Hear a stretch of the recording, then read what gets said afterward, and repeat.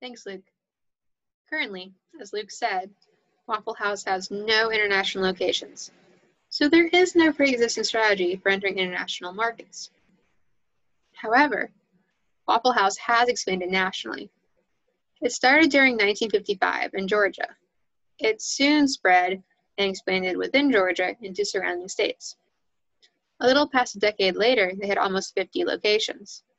By the end of the 1970s, they had 401. The end of the 1990s boosted that to 1,228 locations. Now, there are 2,100 locations across 25 states in America. Compare that to IHOP with 1,841 locations, or Denny's with 1,702 locations. Waffle House is the largest fast food diner option in America. They grow mostly by franchising, so it makes sense that they seem to grow geographically in a spread across states rather than making any splashes in distant locations. That is to say, since individuals start up new locations, it makes sense that it spreads like that.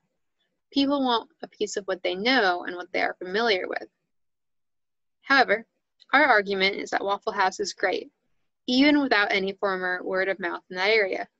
Specifically, we think that Waffle House would do great in the United Arab Emirates. Let's go to Savannah to see how we would enter that market.